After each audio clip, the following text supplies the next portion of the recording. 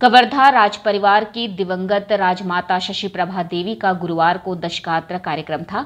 इस मौके पर प्रदेश के स्वास्थ्य मंत्री टी एस सिंहदेव कवर्धा पहुँचे और कार्यक्रम में शामिल हुए। इस दौरान उन्होंने मीडिया को कई मसलों पर जवाब भी दिया।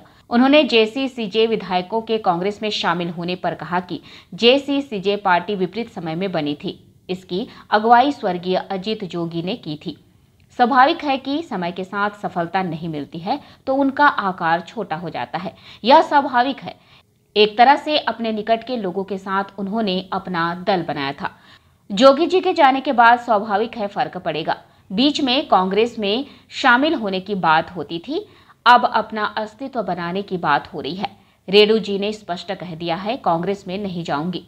मरवाही चुनाव में भाजपा को भी समर्थन दिया है। ये वही भाजपा है जिसने उनकी जाति के मामले में सबसे पहले पहल किया था। यह समय है, समय के साथ संबंध बटे हैं।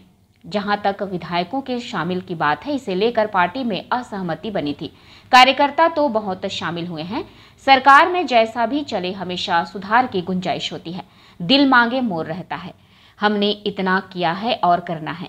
हम इतना कर पाए हैं और आगे और करना है। कहीं कमी है, कोई गलती हो रही, उसे जानकर सुधारना है। यह सतत प्रक्रिया है। हमारी सरकार की कोशिश है कि अधिक से अधिक राहत हम लोगों को पहुँचा सके।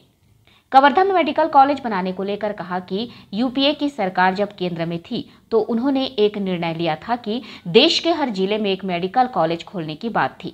जैसे अभी गाँव गाँव नल की योजना चल रही है। उस समय ऐसा ही निर्णय था। पिछले साल 75 नए मेडिकल कॉलेज केंद्र सरकार ने स्वीकृत किए थे, जिसमें कुछ पैसे केंद्र और राज्य सरकार मिलाकर बनाते हैं। इसमें हमने तीन मेडिकल कॉलेज मांगे थे। आने वाले समय में हम जगह तलाश कर रहे हैं। प्रदेश में 11 लोकसभा क्षेत्र हैं, जिसमें नौ में मेडिकल कॉलेज और दो में नहीं है। कवर्धा, जांजगीर और कोरिया में मांग उठ रही है। आज ही वरिष्ठ अधिकारियों से बात की है और आने वाले समय में हम मांग करेंगे। Bureau report J News Kawardha.